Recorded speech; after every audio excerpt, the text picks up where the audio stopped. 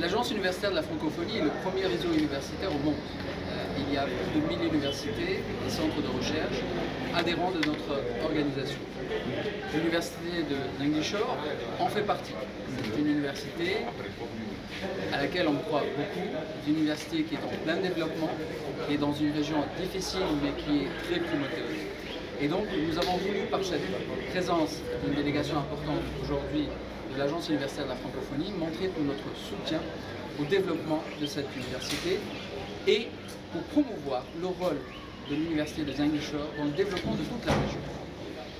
Nous avons, avec euh, l'université, signé aujourd'hui une convention d'importance, une convention qui euh, va permettre de travailler sur trois axes importants. Le premier axe, c'est la transformation numérique. Et tout le monde a vu, après la pandémie, l'importance du numérique aujourd'hui dans l'enseignement, dans la recherche et même dans l'ouverture sur l'environnement des universités. Nous avons ici, dans cette université, un campus numérique francophone, le CNF. Le CNF, il est co-géré par l'université UF pour développer le maximum d'activités autour du numérique à l'université. Nous comptons développer davantage ce campus numérique.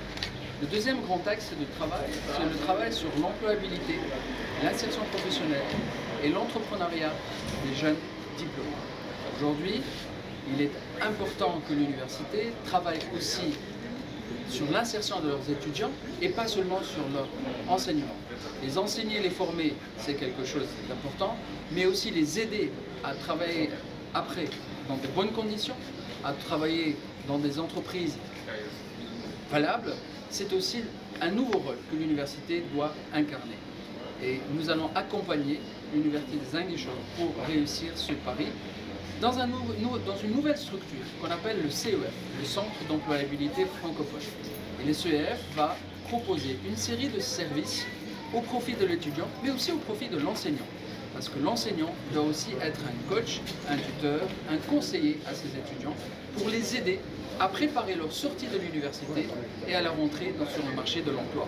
Et quand on sait que le marché de l'emploi aujourd'hui est difficile, où il y a la domination de la vulnérabilité de certains emplois, où il y a la domination de l'informel, il faut beaucoup de travail au niveau de l'université pour préparer, mieux préparer les futurs diplômés à être insérés et à travailler dans des métiers qui correspondent à leurs études et non pas dans des métiers où ils n'exploitent pas grand-chose de ce qu'ils ont appris à l'université. C'est un défi majeur, mais c'est un défi que l'université aujourd'hui de Zengeshov veut prendre à bras Alors, la transformation numérique, l'entrepreneuriat et l'insertion professionnelle, et un troisième axe.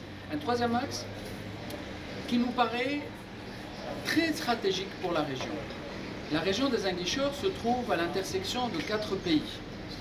Et cette université a peut-être un pas d'avance sur les autres universités qui nous entourent. Et elle se propose d'être leader de la région en matière de francophonie scientifique et en matière de développement de l'université.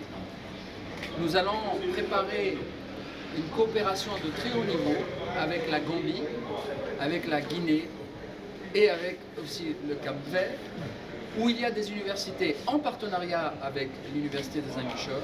Zingishore va proposer d'être un petit peu le pivot pour coordonner toute cette activité et nous l'espérons qu'ensemble avec l'AUF, nous allons faire rayonner la francophonie scientifique dans toute la région avec des programmes en commun, avec un échange d'étudiants, avec un échange de professeurs et je l'espère, de beaux programmes au niveau de toute la région. Cela ne peut que rejaillir positivement sur la région de Zingishore qui sera demain un pôle régional attractif pour l'ensemble de la région. Voilà, merci.